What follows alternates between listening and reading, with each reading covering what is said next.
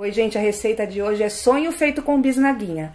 Então, no creme vai uma xícara e meia de chá de açúcar, meia xícara de chá de farinha de trigo, uma colher rasa de chá de baunilha, duas gemas e meio litro de leite.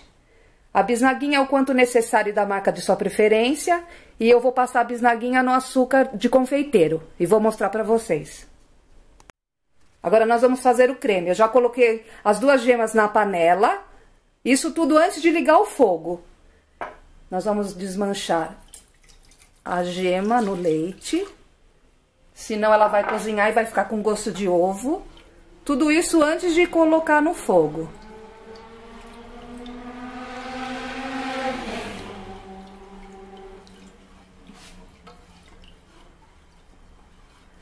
Em seguida, nós vamos colocar a meia xícara de farinha de trigo. Também dá uma desmanchada.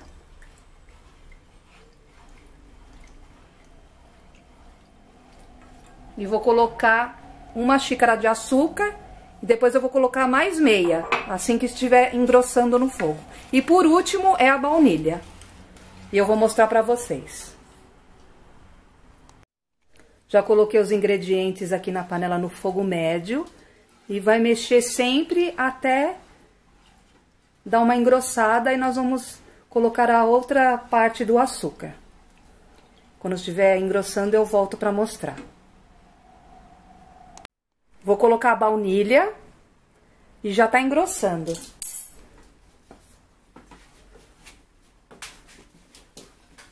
Olha, não sei se dá pra ver a textura, mas... Eu até abaixei o fogo. Tá 10 minutos já. Ó, a textura tá bem grossa. Agora eu vou desligar o fogo, fiz totalmente no fogo baixo e vou colocar mais ou menos 20 minutos na geladeira para colocar e rechear as bisnaguinhas que nós vamos fritar. Voltei para mostrar para vocês que pode ser feito dessa maneira, uma forma, uma bacia com gelo e água para esfriar. E já até tá mais endurecido. E ele também esfria da mesma maneira. Agora eu vou fritar as bisnaguinhas e mostrar para vocês. Eu coloquei uh, o óleo numa panela pequenininha. Tem que, tem que uh, fritar uma a uma e segurar porque ela não vira. Ela incha. No fogo baixo. Sempre virando ela.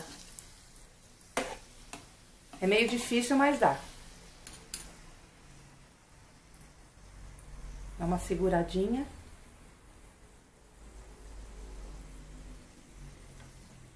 E depois nós vamos passar no, no, no açúcar. Abrir e rechear. O creme tá lá atrás, esfriando. Já fritou. E assim, faz com todas, sempre uma a uma. Quando estiver pronto, eu volto. Já terminei de fritar no fogo baixo, já passei duas no açúcar e ela fica meio fofinha. E para fritar é bem rápido, senão ela queima. Agora eu vou terminar de passar, vou abrir e vou mostrar para vocês recheando.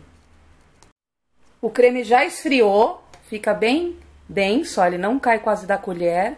Eu recheei uma, deixei uma aberta e não abram antes de fritar, porque senão ela queima. E eu vou rechear uma para vocês verem.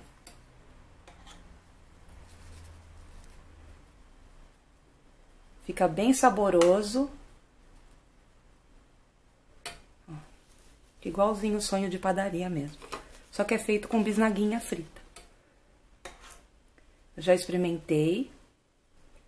Espero que vocês gostem. Se gostou, dá um gostei pra mim. Inscrevam-se no canal. Bom apetite. Até o próximo vídeo e eu vou mostrar a foto para vocês. Voltei para mostrar para vocês que ficou pronto. Se você gostou, dá um gostei para mim, que eu já falei, né?